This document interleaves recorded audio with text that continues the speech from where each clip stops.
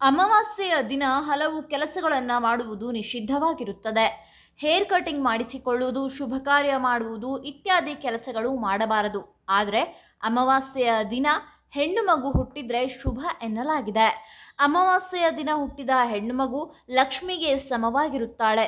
ಆಕೆಯ ಆಗಮನದಿಂದ ಮನೆಯ ಅದೃಷ್ಟದ ದಿನಗಳು ಶುರುವಾಗುತ್ತದೆ.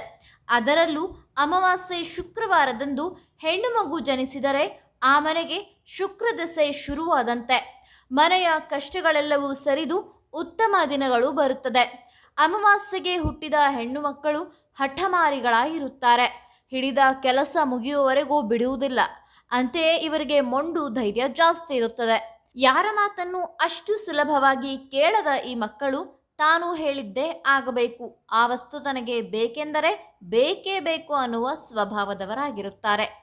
ಹಿರಿಯರ ಮಾತನ್ನ ಶಿರಸಾ ಪಾಲಿಸುವ ಈ ಹೆಣ್ಣು ಮಕ್ಕಳು ತಮ್ಮ ಮನೆ ಮಂದಿಯ ಮರ್ಯಾದೆಗೆ ಹೆಚ್ಚಿನ ಮಹತ್ವ ನೀಡುತ್ತಾರೆ. ತಮ್ಮ ಪ್ರೀತಿ ಪಾತ್ರರಿಗೆ ಹೆಚ್ಚಿನ ಮಹತ್ವ ಕೊಡುವ ಇವರು ಜೀವನ ಸಂಗಾತಿಯನ್ನ ಉತ್ತಮ ರೀತಿಯಿಂದ ಕಾಣುತ್ತಾರೆ. ಗೆಳೆತನಕ್ಕೆ ಹೆಚ್ಚಿನ ಬೆಲೆ ಕೊಡುವ ಇವರು ಗೆಳೆತನವನ್ನ ನಿಭಾಯಿಸುವ ಅರ್ಹತೆ ಹೊಂದಿರುತ್ತಾರೆ. ಆದರೆ ಒಮ್ಮೆ ಇವರೊಂದಿಗೆ ಜಗಳವಾಡಿ ದೂರ ಸರಿದವರಿಗೆ ಜೀವನದಲ್ಲಿ ಮತ್ತೆಂದು ಜಾಗವಿರುವುದಿಲ್ಲ. ಅಮಾವಾಸ್ಯೆಗೆ ಹುಟ್ಟಿದ ಹೆಣ್ಣು ಮಗುವಿನಿಂದ ದಾನ ಮಾಡಿಸುವಾಗ ಬಟ್ಟೆಯಲ್ಲಿ ದಾನ ಮಾಡುವ ವಸ್ತುವನ್ನು ಹಿಡಿದು ದಾನ ಕೊಡಿಸಿ. ಇಲ್ಲವಾದಲ್ಲಿ ದಾನ ಪಡೆದವರ ಮನೆಗೆ ಅದೃಷ್ಟ ಹೋಗುತ್ತದೆ. ನಿಮ್ಮ ಸಮಸ್ಯೆಗಳಾದ ಉದ್ಯೋಗ, ಸತಿಪತಿ ಕಲಹ, ಮದುವೆ, ಪ್ರೇಮ ವಿಚಾರ, ವಶೀಕರಣ, ಯಾವುದೇ ಕಠಿಣ ಕ್ಲಿಷ್ಟ ಸಂಕಷ್ಟಗಳಿಗೆ ಸಂಪರ್ಕಿಸಿ ಶ್ರೀ ಸಾಯಿ ಕೃಷ್ಣ ಜ್ಯೋತಿಷ್ಯಾಲಯ, ಪಂಡಿತ್ ಡಿ ಎಸ್ ಜೋಶಿ ಒಂಬತ್ತು ಏಳು ಮೂರು ಒಂದು ಮೂರು ಐದು ಐದು ಐದು ಮೂರು ಎಂಟು. ವಿಳಾಸ ಸಾಯಿಬಾಬಾ ದೇವಸ್ಥಾನದ ಎದುರು ಹದಿನೈದನೇ ಕ್ರಾಸ್ ಬಸ್ ನಿಲ್ದಾಣದ ಪಕ್ಕ ಸಂಪಿಗೆ ರೋಡ್ ಮಲ್ಲೇಶ್ವರಂ, ಬೆಂಗಳೂರು.